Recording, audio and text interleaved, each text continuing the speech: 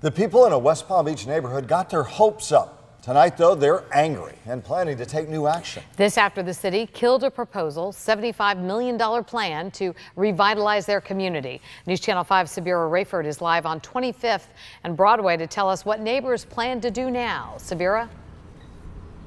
What they're going to have to do, they tell me, is work together to make change. Now, this lot, it has a lot of potential, but they're going to have to sell it.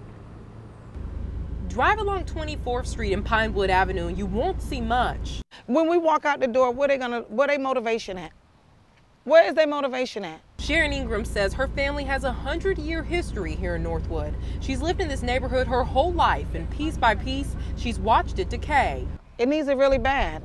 It needs it really bad. What it needs, Ingram says, is new development. They hoped West Palm Beach city leaders would approve a $75 million plan to bring condos, shops, and a grocery store here, but they vetoed the project. So I think it would have helped us a lot financially. Diane B. McKinney says she was here more than 50 years ago when the Northwood area was booming on both sides of the train tracks. Now she and other business owners say they're ready to see a positive change. What can we do or what's needed for us to try to let them see that's what we need over here. So they're going to debate whether they want condos and more shops or go with what neighbors across the train tracks say they need, a grocery store and an upgraded park for the kids. I like Northwood. I love that they have the music on Fridays. That part is good too, but we're still here.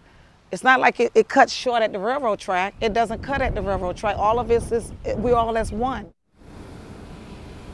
Now, McKinney tells me in two weeks they plan to meet with the city economic development team to see what their options are to invest in this area. We're live in West Palm Beach. Sabirah Rayford, WPTV News Channel 5.